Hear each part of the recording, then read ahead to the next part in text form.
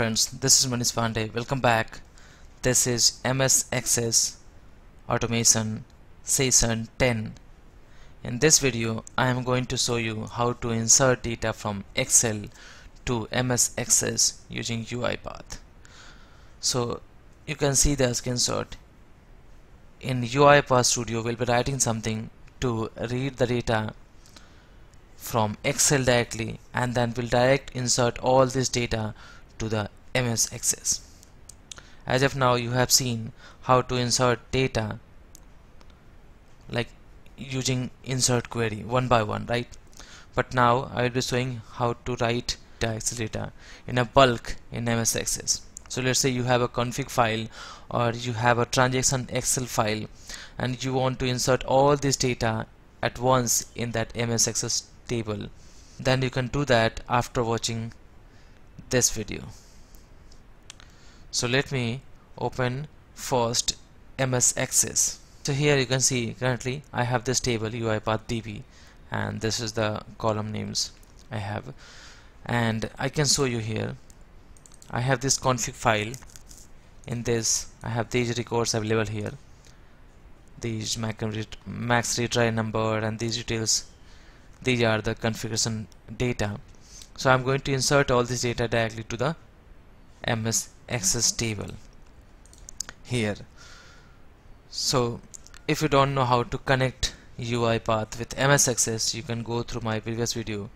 And if you're getting any error while connecting MS Access and UiPath you can go through my previous video session 5 and 6 that will help you to fix that issue. And I will recommend you to start from session 1 that will help you to understand this one also. So let me open UiPath Studio. So here I have already connected this one. Now I'm going to take read range activity. Because using this activity I'm going to read data from this Excel. So I'm going to select this one this config file. I'm going to delete this complete range. Select the add headers create one table that is config. So this, this is config data table. And then to insert data from Excel from data table to MS Access table directly in a bulk like at once then we have to use insert activity.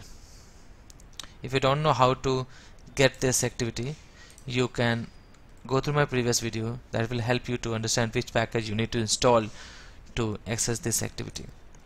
Now here we have insert activity. Right side in the existing connection I am going to use the variable which is coming from connect activity. And then we need to pass data table here. So data table will be our config which is coming from this activity. And then this table name will be your MS Access table so this is the table name that we are going to use UiPath DB so in the double quotation because it will take a string value so you have to write like this UiPath DB save that and now you can run this. But before that just close this one and run this. So you can see here data successfully inserted. Let me first close this one. And let me click no. I don't know. I have not saved. Okay so you can see all this data inserted here.